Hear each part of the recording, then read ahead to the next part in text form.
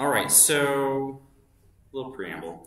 Uh, I was going through this week's lesson, um, both lessons, you know, the one for today and then the one for Thursday.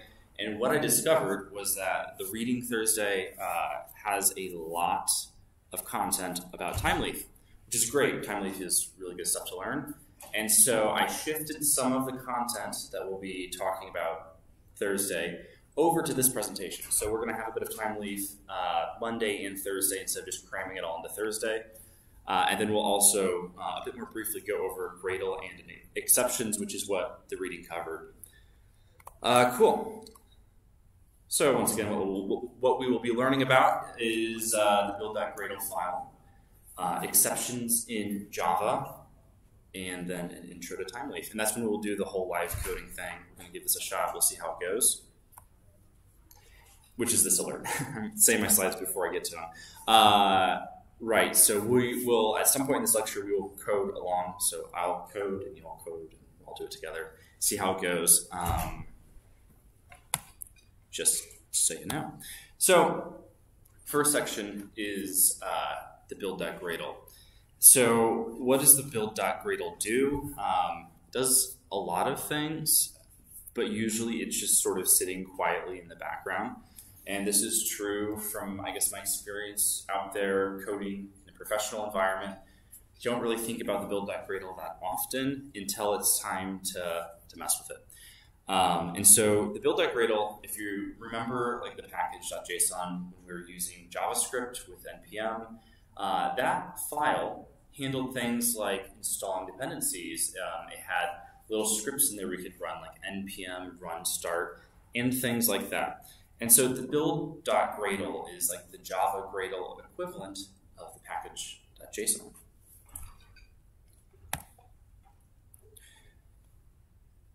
So, quick comment here. Um, the let's say you create a project using the Spring Initializr or something else like that and it pre-configures your your your build.gradle file. Um, you may never interact with it, except that as the project matures and you need new things, uh, the most likely thing that you will edit in your build.gradle is going to be the depend the, the uh, dependency section. So you might add on a new dependency to your project. That's a pretty normal thing. And so, uh, yeah, we may go in the Gradle file to, to edit that and honestly, anything is up for grabs, but that would be the most likely scenario in my in my head. Um, here's just a quick uh, screenshot of the dependency section of the build.gradle file. Um, and then this is the, the plugin section. You can notice in this example, we can tell that the project has Thymeleaf uh, installed as part of it. Uh, and so you can actually learn a bit about a, project just by looking at its dependencies. Uh, we can see we have Spring Boot Starter Web, Spring Boot Dev Tools, and so we kind of already have an idea of what this application is. Uh, so we're about to context switch a bit. Before I do that, any questions about the build.gradle file? Am I, am I reading a bit? Is, the volume okay? Good. All right, cool. Uh, any questions about the build.gradle file uh, or just configuring a Java project in general?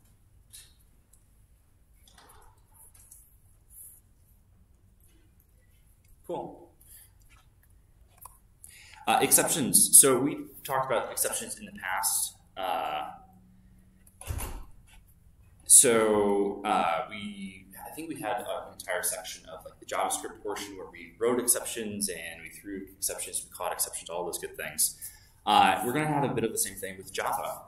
And the two really key important things to keep in our mind when we think about exceptions, whether it's in Java or in JavaScript or any of these languages, uh, is, that, is that there's typically two, two key components. One is throwing an exception, and the other is catching the exception.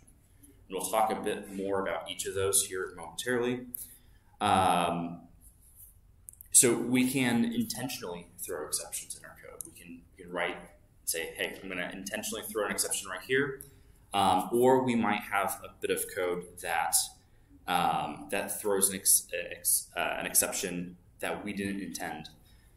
Um, so if we ever have an exception thrown in our code, or we have a block of code that's likely to throw an exception, we want to wrap that in something called a try catch. And you can think a bit of you can think of a, a try catch a bit like a, a, firefighter standing next to something that could randomly uh, combust. Uh, and so in this this little illustration here, whatever this is right here, this represents codes that might burst into flames, and then you have someone right there ready to put out the fire. And so anything that happens in the try block that we're uh, is going to be caught by the try catch block, um, with with a few exceptions, like if there's like a syntax error or something like that. But when the code is actually running, whatever runs inside that try block uh, is going to be caught by the try block, and it's not going to uh, destroy the entire application and cause it to crash, right? Uh, so why we might need to use exceptions in Java um, or understand them. So imagine a scenario in which we have a, uh, an app and the user can upload a file. Maybe they can upload a, an image or a document, like a resume, a resume or something like that.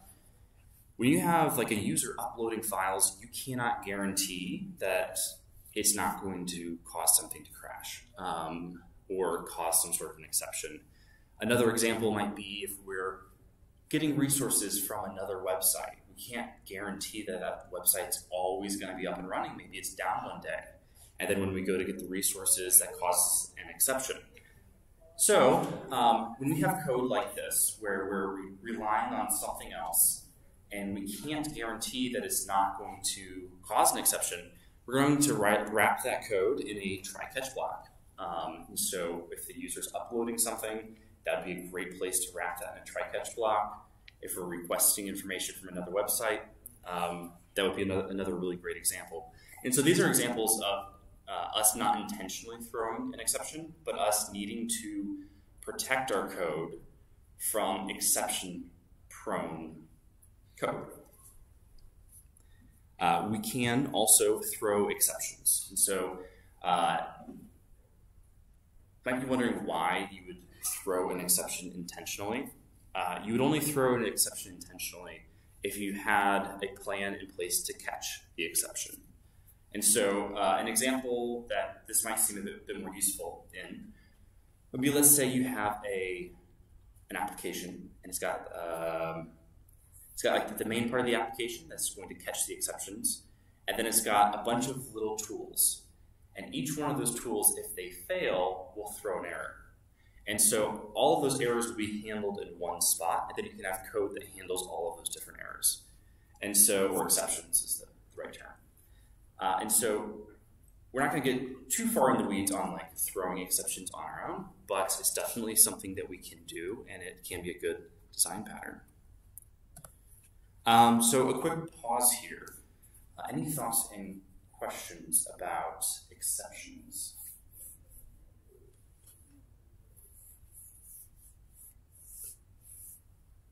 Okay. So we'll try to breeze, breeze through this. This is a, just some quick syntax on how we'd write our, our own custom exception. Once again, with Java, we're always in the space where we're writing a class. Uh, and in this case, we are extending the exception class. Um, here we have our constructor, and we are passing the exception message up to the exception class's constructor using this super thing right here. And then how we would throw our custom exception would be throw, and then we'd create a new instance of it, new custom exception, and then pass in the message.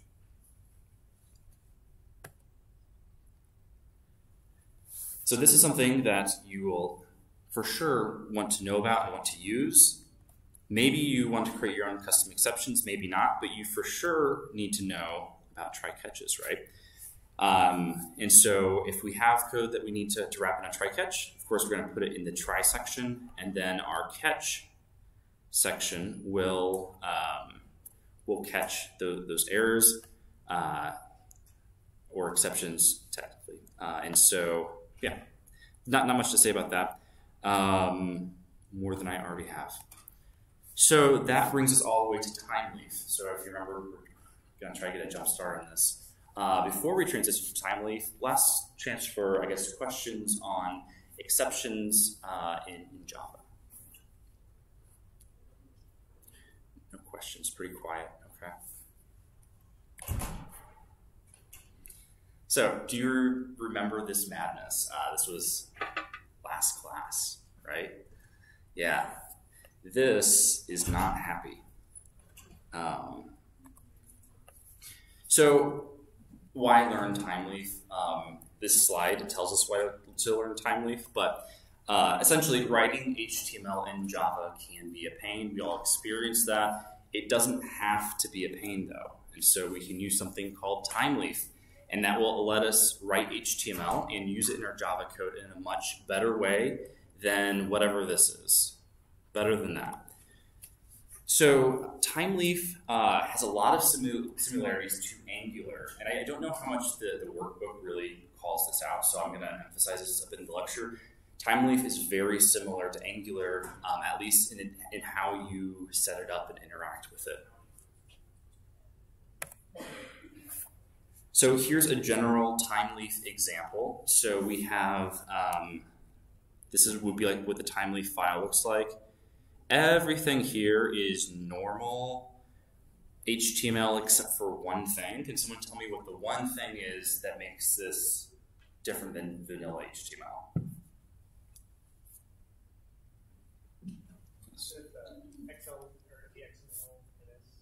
Yes. And so this thing right here is just going to help um, IntelliJ uh, to recognize this as a Thymeleaf file and so that it doesn't get angry at us when we try to do Thymeleaf things. But yeah, generally speaking, this is uh, everything here is just normal HTML stuff we've worked with. Uh, what's really cool about Thymeleaf is let's say I create a Thymeleaf file called example HTML for my website.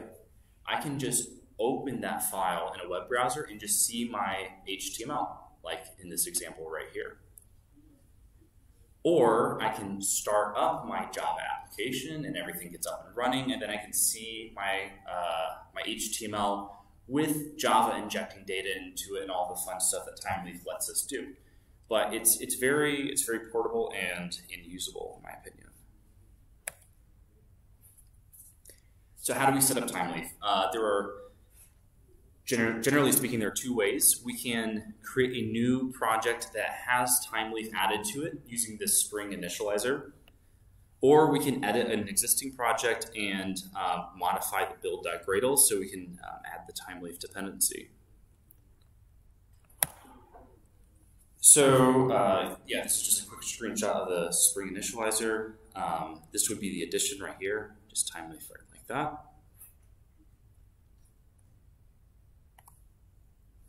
And then this is what it looks like in the dependencies. We kind of already called that out earlier. So a few important things with Thymeleaf. Um, all Thymeleaf files, generally speaking, but all, all Thymeleaf files should be located under resources forward slash templates. Um, we're going to put all of our Thymeleaf files in the template folder. Let's say you have a controller that is going to return a Thymeleaf file, meaning that when someone goes to a particular web address that we our application controls, and they go to like localhost forward slash hello, and we have a controller that returns a Thymeleaf file at localhost forward slash hello. Uh, there's a few important things about that controller. It should not have a at response body annotation. Uh, that at response body annotation is great when we want to return data or when we want to return a string of our own HTML like we saw yesterday, or not yesterday, but last class. Instead, uh, we're just going to just have a, a vanilla controller, I guess you can say that, just a regular controller, at controller for the class, and then the, uh, the method itself is going to be like uh, at get mapping or at post mapping or something like that. Just not, nothing else there. And so by default, um, these controllers are configured to return a quote unquote template. So something like the Thymeleaf file, they're already configured to return that. And when we add something like at response body, that breaks that and it, and it won't work right uh, and it won't complain a whole lot, I don't think. And so that can be a bit of a sneaky error. The other side of it is that we also don't want to use at rest controller on our class.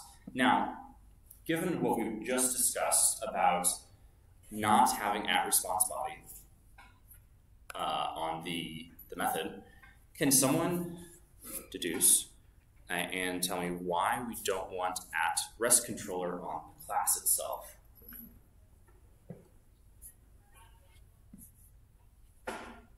This is a bit of a tougher question, but uh, if you know, you know. No takers? Cool. So the difference between at rest controller and at controller for a class, they, they, they both convert the class into a controller. That annotation will make it a controller. The rest controller essentially adds this at response body to all of the methods automatically. And so it's really good if we have a REST-like controller that's just returning data. It's not returning like Thymeleaf views. At rest controller is convenient because we don't have to add all these at response bodies onto our methods. But if we have a class that has at rest controller and we try to return a Thymeleaf template or Thymeleaf view, uh, it's not going to work? Because it's it's adding this at response body thing that we can't have. So, quick pause. Um, questions, thoughts on what we've covered? Now I'm talking about a lot of concepts. We're not really seeing a whole lot of code yet. We will get to that, but any questions? Oh, yes. So, um, in the uh, in the exercises in the uh, reading, mm-hmm. they did a thing where they put like response body top by controller that can serve to um, basically provide response body to, to the methods within the class. Mm-hmm. So would rest controller kind of be like a combination between controller and response body? Exactly exactly at, at the class level. Yeah. So if, if you didn't hear the the, the question, um, it was uh, in, in, some of the, the, reading. There was an example of putting at controller and at response body at the class level, uh, and so the statement was just doing at rest controller accomplishes the same thing as having those two things at the class level, just having at rest controller instead of those two things will accomplish the same thing as making it at controller and at response body. Yeah, thank you. Uh, cool. Other questions, other thoughts um, while we're here?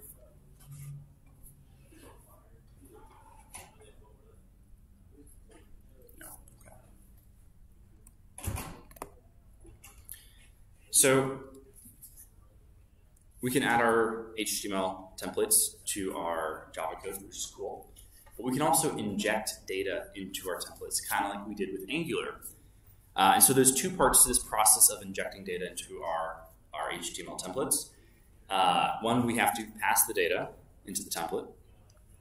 Kind of goes without saying, but that's, that's step one. And then step two is we need to reference the data in the template. And there's special syntax for that. So here's an example of passing data into the template. You'll notice that we have this model class referenced here inside of our method at the top. And then once we have this set up here, we can do something like model.add attribute. We give the attribute a name, in this case would be title, and then we pass in the data as the second argument of this.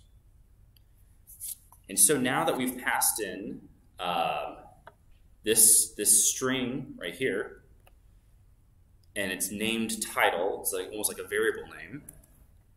In our template, we can reference the data. And what referencing the data looks like is something like this, th, and then we have the colon, text, so this is going to change the text content of the element, equals, and then we have this special syntax to reference the variable that we just passed in. So we just passed in title, and it's referencing title. And so we could uh, deduce, looking at this right here, the title that we're passing in is aardvark. It's, we're just passing in that string. And then when, when we reference title in our HTML, we can assume that once we render it, it's gonna that h1 element is gonna say aardvark.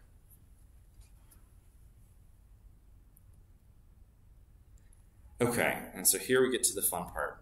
Um, we're going to collectively, uh, participation is totally optional, but collectively we are going to uh, create a Thymeleaf project and add as much stuff as we can can to it reasonably, and there'll be questions in the middle.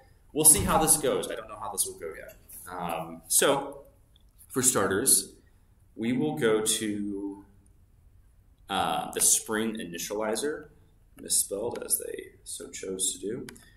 Um, cool. So if you're following along, go ahead and jump over to the Spring Initializr. Uh, you can see, of course, the link that I posted in general. That will pre-populate all of the, the options. And uh, I'll pause here for a little bit while, while y'all get this pulled up. Um, and also talk through, this. So the when we initially open this, it will be defaulted to Gradle slash Groovy. This is good. Uh, it will default to the language Java. That, of course, is also good. For the Spring Boot version, we need to change this. We don't want anything other than 2.7.11. After that, this part's mostly optional. Um, well, te technically optional, but you can change it if you want to. Uh, we have all of our project metadata set up. I just change this to org.launchcode. I called the artifact class 9 example. You can call it whatever. Packaging will be defaulted to jar. That's good. The Java language level we need to change. We will change this to Java version 11. Once we have the left side of the screen figured out, then we need to add our dependencies. And so the dependencies we will be adding is Spring Web, as we have the last time we used Spring Initializr. We'll add Spring Boot DevTools, um, as kind of have been in the examples. And then finally, we will add this new dependency, which is Thymeleaf. So go ahead and plug all that in, and then you'll press generate uh, or control enter. And this is going to generate a zip file. Zip file is not that large. Uh, from here, you can extract the zip file. I'm not sure what the command looks like on a Mac machine, but what I'm doing is I'm right clicking on it on a Windows machine and clicking extract all. And it just created this new folder right here. I'm going to open that up and take the, the folder with the same name inside the folder uh, and copy that, and I'm going to move it over to my project folder, which is under users, uh, projects, and I'll just paste that in there. I've already done that, so I'm not going to paste it right now. There's a couple different ways to move this file. That's just the way I went about it.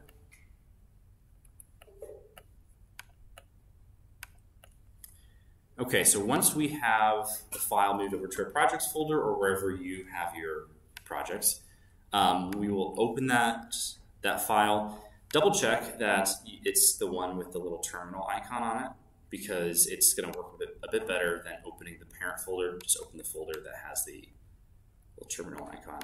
Okay, and once you open the project, it's going to start downloading.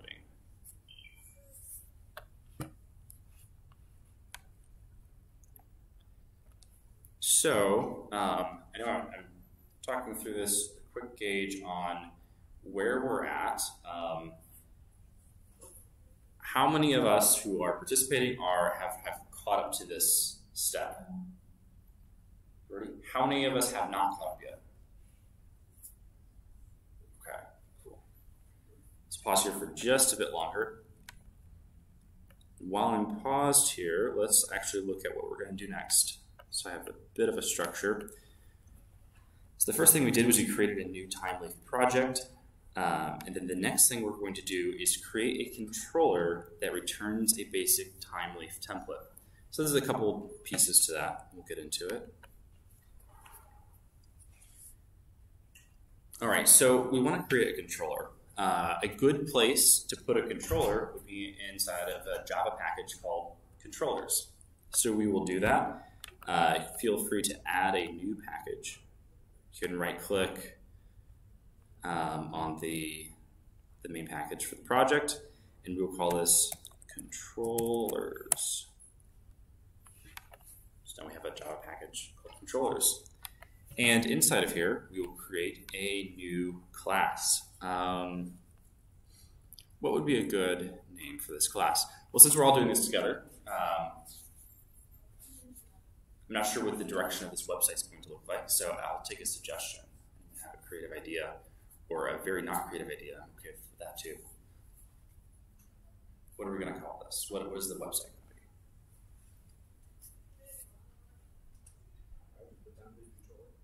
to be? Thymeleaf controller? Okay, I'll take that.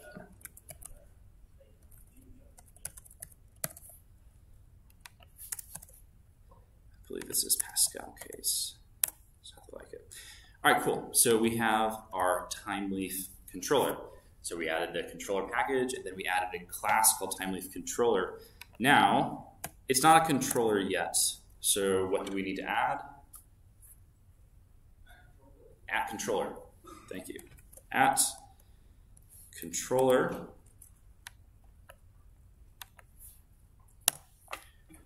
Cool. And so we are going to have our first method, and we can just make this at home, at, at just localhost forward slash. And so we will say um, public class returns, I think the type for the templates is still string. So we're going to say it returns a string unless we discover otherwise, and we'll call this home. Um, doesn't like something about this yet. Oh, thank you. Public string. Assume return statement, and just for now, I'll just return a string, an empty string, until we return a template. Keep it happy. Uh, and now, since this is going to be a, uh, know, also make this bigger. Sorry, I'm jumping around with my thoughts here. Okay, so now that we have this, we want it to be a get mapping request so that when we go to the, the page, um, it receives a request and we're able to do something with it. So we will say at get mapping, and we don't need to pass anything into this because we just want this to be at, at the home page. Okay, so as a sanity check, I'm going to just quickly run the application. And we'll even go to the home page and nothing will show up yet. But I just want to see that nothing is angry. Uh, so we'll go to localhost 8080 and then nothing else. Okay, so we get a, a white label error page. That is not an error I'm concerned about yet. Okay. So once again, we are we're at our Thymeleaf controller, but now we actually need to return a Thymeleaf template. So the place to add templates, of course, is going to be in our template folder. We have nothing in there right now, so we will add a new HTML file. Now, if you're caught up with the reading, you should already have a shortcut for adding a new Thymeleaf file. If you don't have that, uh, feel free to create a new HTML file, and then we're just going to add in one piece. I'll show you what that is. Thymeleaf file, we'll just call this home because we're making the home page. So the one piece that you're going to add in, uh, if you have a, a vanilla HTML file, is this right here. And you can see this, this text right here. It's inside the slides if you need to grab it. Um, you might be able to get away without it. Uh, it's just you might see some red squigglies and complaints from Java. We'll see. Okay, so in here, um, in our HTML file that we just created, um, we will just say create a new H1 element. Um, let's say, welcome to the home page. Feel free to say whatever you want. This is your own thing. Now, if I go here and I refresh, nothing's going to happen. Someone tell me why. Well, there's, there's a couple of reasons why, but I'll, I'll say one of them. Oh, yes. I haven't connected it to the controller yet. That, that's a that's a very good reason why. And so here, what's interesting is when we're using a Thymeleaf template, I kind of expect to need to do something like, you know, like home.html, um, like forward slash templates, and all this kind of stuff. But I believe I can just say home, and it will know what I'm talking about. Let's give that a, a try. Um, see if I can get away with just that minimal bit of messaging. Yeah. So it knows what I'm talking about. If I say home, Thymeleaf looks in the template folder and checks for an HTML file called home. And so if I had something on here like a at response body, it's not going to know that this is a template. Instead, it's just going to return the string home. And if I don't have the response body there, but I have it up here,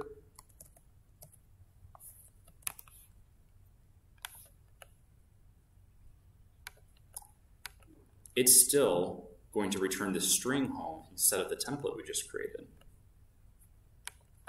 And then finally, if I have at rest controller instead of just at controller, let it reload and refresh, it still just returns the string home. And so I just want to point all that out. Um, so I can see this coming up pretty easily. So what we need is just simply the, the controller and then the mapping for, for the method. And when we have those two things in place, it's going to recognize that we're intending to return a template, not just data. So if I'll refresh, we're back to our template. Cool. So we've kind of sped along, maybe a bit too fast, but we made it here. Um, so I'm going to pause here for questions. Um, what, what, are your thoughts, questions? Yes?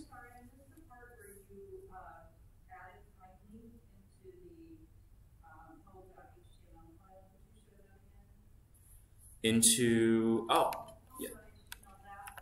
This right here? Right, so what I did on my machine was I right clicked on templates, I hovered over new, and I have a preset that I created. You may not have this yet. And so if you don't have the Thymeleaf preset, what we can do is we can create a new HTML file. Um, and I'll just call this um, other page because we're being creative with names today. All right, so I can you you could create a new HTML file that looks very similar to the Thymeleaf file. Um, and then in order to make it like the Thymeleaf file, I'm going to post this into general. Just I'll just do the whole tag. So you just replace the tag. To general, you copy this bit of HTML syntax from general, and then you can place it, replace this right here that comes with the basic HTML template. So I'll give you a minute to catch up to, to grab that and, and copy and paste it. Oh, yes? Um, oh, yeah, self-closing meta tag, yes. So once you have this, you will also want to um, make the meta tag self-closing. So it's going to start off like, like this, and you're just going to add a forward slash to it. So your HTML file should look exactly like this, where we have the XMLNS thing right here, and we have the, the self-closing tag for meta tag. We caught up to here? Good? All right, cool. The next thing we'll want to do is right-click. I think, is it right-click? No, no, no. Have this file selected, and then go to File, Save File as Template. So we'll have, oops, have this file selected, and we'll go to File, Save File as Template, and we'll call this Timely Leaf. And that will have that set up as a preset for the next time we want to create a, a Thymeleaf template. Yeah, cool. Thanks for the question. Also, thanks for the assist. Um, other other questions? Yes. Can you walk through why you got it to run from the template again? Right. Um, so here we have our controller. Um, this is living in our controllers package. That part isn't super critical, I don't think. Um, we have the on the class we have at controller. On the method we have our get mapping, and then our return statement is a string with the same name as the template. And I'm, I'm curious if it works if I say home.html. I know I just, if I say home, that works, but my own curiosity is asking a question. Yeah. So we, we can say, and honestly, it might be a little bit more obvious if we put .html on it, but essentially we're just referencing the file name. Yeah. And then that's enough for Thymeleaf in the background to, to draw the connections and work with it. Cool. Did that work? Did you have a follow-up question? No. No, cool. All right. Other other other questions while we're here? No, cool. All right, let's look and see what is next for us to add onto here. So we've accomplished creating a controller that returns a basic Thymeleaf template. Now we're going to do something and take this like way to the next level, make this 10 times more useful, and that is we're going to figure out how to pass data to the template from the controller. So how to inject data into our HTML. Very powerful tool. So the first thing we'll need to do is um, we'll, we'll stick with, with just the home page. We're not going to add a bunch of pages to this. We'll keep it simple. Uh, and so we'll add something called model. Now, in, in the workbook, um, Chris calls this out uh, in one of the videos, but the model here shouldn't be confused, even though it'd be easy to, it should, the model here should not be confused with when we say MVC, model view controller. Because when we talk about MVC, the model is referring to the data. In this case, model is a specific um, uh, like Thymeleaf syntax here uh, for passing in data. So the model is referencing the, the data portion of the Thymeleaf template. So, so model, model. I don't have it imported yet, so I can click on that and do Alt Enter. That will import it. And so now, now that we have this right here, we can say model dot. We have a bunch of different options here. Um, we're going to start with something basic. We'll just say add attribute. And the first argument that we're passing into add attribute is the name, the variable name per se. And so this, uh, what, what should we call this? Uh, something that makes it obvious that it's random. We'll call this Kiwi. The second thing that we pass into the model is data. And we can pass in an object, uh, like, like, a, like a hash map, we can pass in an array list, um, we can even pass in a custom class that we write. Uh, in this case, we're going to keep it simple and we're just going to um, add, just pass in a string. So we'll say, um, just going to call it test because creativity is on power 10 right now. All right, so we're passing in the string test, and the value has the name, the variable name per se, uh, is kiwi. So now if I refresh my project, nothing's changed yet. So just because we, we passed data into the template doesn't mean we've done anything. So let's prove that we were successful in passing data in. So I'm going to recap what our controller looks like. we are referencing model here. Model is imported from springframework.ui. .model. And then we are referencing this and saying model.add attribute, and we're passing in essentially key value. So now we're going to switch over to our home page. This is our, our, our HTML, um, Thymeleaf flavored HTML, and we will add a paragraph. Now the paragraph can be empty.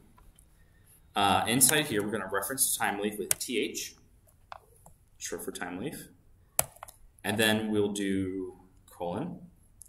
And there's a lot of options of what we can do right next. But since we're just going to want to change the text value of the paragraph element, we're going to say text equals. We're going to do dollar sign because we're referencing a variable. Curly brackets, opening, curly bracket closing. And then in here, we're going to reference our variable. So we'll say Kiwi. So that's what it should look like. We are referencing Thymeleaf. Saying it's a text. Text is what we're going to use Thymeleaf to change. Equals a string with this variable in it. Let's refresh. Hopefully I got my syntax right. Did that from memory. You never know. Let's refresh the page. And it says test right here. Not kiwi, it says test because test was the string we passed in. Kiwi was, kiwi was the name of the value. So that's cool. So even though this is a very small example of something we just did, it really is a huge thing with so much potential because we're now able to use Java to pass data into our otherwise uh, static HTML. Uh, and also, to sort of point this as a string, we can say the data passed into let's try this. Let's refresh. Oh, maybe it doesn't like that. Okay, I thought I could get away with that.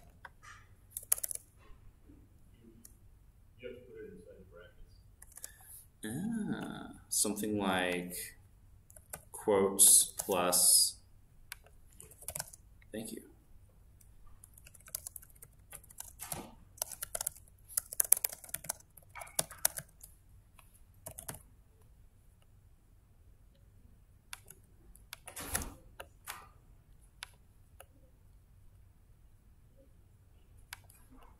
Refresh. Yeah, there we go. Cool. Thank you. Also, a big thing the workbook talks about when it comes to Thymeleaf is that it's great to have default values. And can someone tell me how I could add a default value to the paragraph element? How could I, how could I add a default text value? Meaning that if data is not passed into it, if we just open this right in a web browser without using Java to spin everything up, how can we get the, the P tag to say something? Sure. So we could say um, data will be here, I guess. Something very confident. All right, data will be here, I guess. And so, I mean, if we refresh the page, it's just going to show the data we passed into it. Um, however, if I go into the project,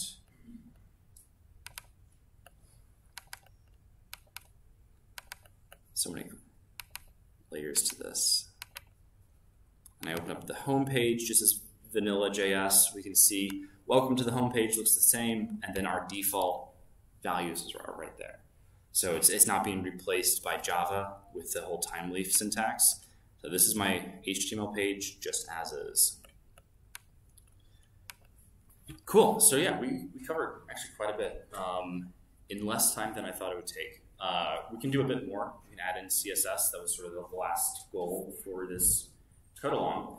Um, but I really want to stop for questions and and especially if there's a part that, that you might have gotten stuck on or, or uh, confused by, anything like that, just want clarification, it's a great time to ask. So, any, any questions so far? Yes.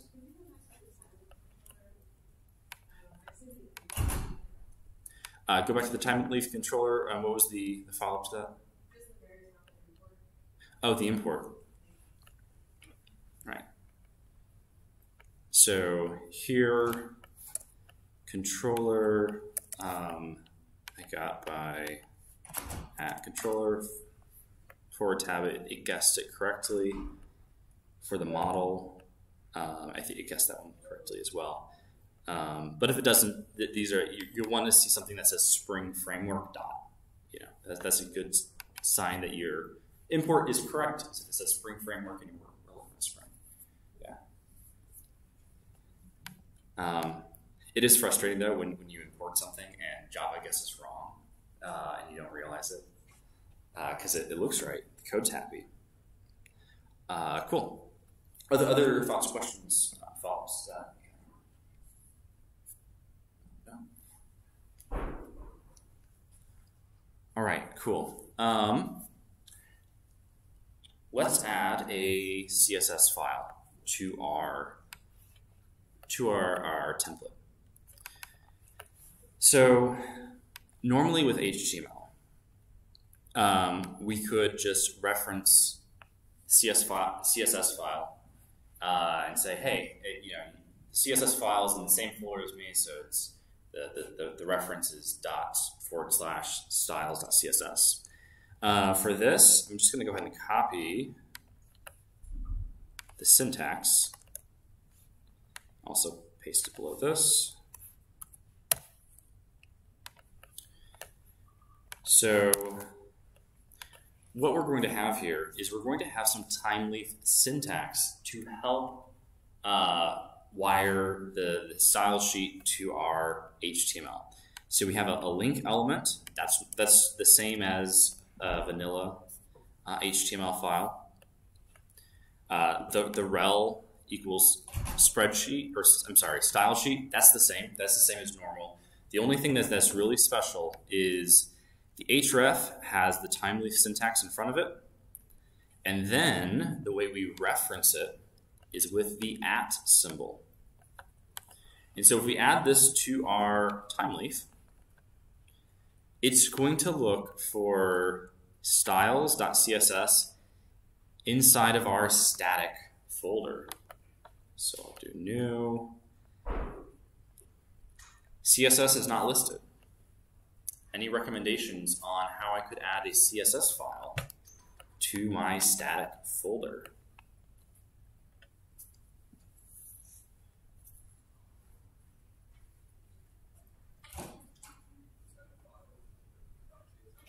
Okay, let's try that. Just add a file. Call it styles.css. See if this works. Press enter, and it does work. That's great. So we can also see that uh, IntelliJ immediately recognizes this as a CSS file. We have the little CSS icon. Um, and so to add a CSS file, it's just going to be new file, and then you'll just need to add the .css so it knows what it's talking about. And so in here, I just want to prove that our Thymeleaf template is in fact wired up appropriately to our CSS. So I'll say something like HTML, and then I pushed a button. Uh, background dash color, and then we could do a few different ways to add color to CSS. You might have your own way you're familiar with. A, common one that's easier to remember is RGB, and then we put three values in here between 0 and 255. So 255 here is 100% red, and then 255 here is 100% green, and 255 here is 100% blue. And so if we have 100% red, green, and blue, it's going to be white. And if we do zero, some weird like insert thing, press, that's okay. I'll work around it. If we go zero, zero, zero, That means we have zero red, zero green, zero blue. It's going to be black. And so, if I wanted to do something like um, a muted green, we could do a little bit of red. We could do a lot of green. And we could do a little bit of blue. And we'll refresh and see if it works. That's not very muted, but it's it's better than full power. Uh, cool. So we can see that our CSS uh, does in fact work. Um, part that matters here is I will say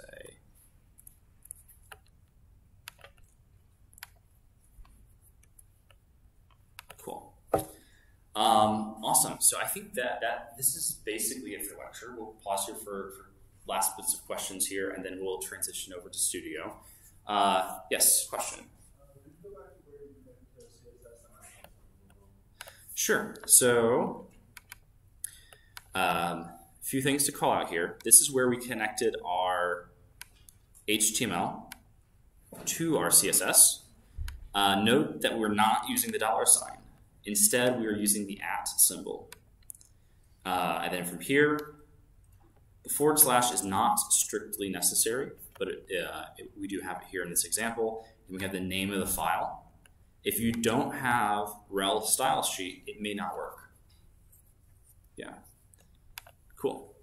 Go back to how you added these styles. Right. So, oops. I think it's insert. That's probably what I have. There we go. Uh, so what I did was, uh, as, a, as a quick recap on CSS, there are two essential parts to it. You select something. In this case, I'm selecting the entire HTML document. Be more specific and just select the P element. And then inside the curly brackets, you apply styles. So styles are key value. And so if I refresh this, the background color is now only applied to the P tab. How do you get the specific uh, CSS? uh, You know, how you add a new class or a new package? How do you add CSS? Oh, um, talking about the file itself. Oh, gotcha. I misunderstood. So the way we did that was we went to new, to file, then we had the name of the file, and we did dot CSS. And that was what it took for uh, IntelliJ to recognize it. Cool. Sorry, I misunderstood your question there. Uh, awesome. Uh, any, any other questions before we wrap up? Great questions, by the way. Uh, I, I think that the, the live coding went okay. Um, I'm always worried about it just being a disaster and like no one can download anything or something like that coming up. But I think I think this worked. So we, we, we may try this again. Uh, cool. So that's it for lecture. Uh, we'll go and break for studio, and I'll see y'all back here at eight for studio review.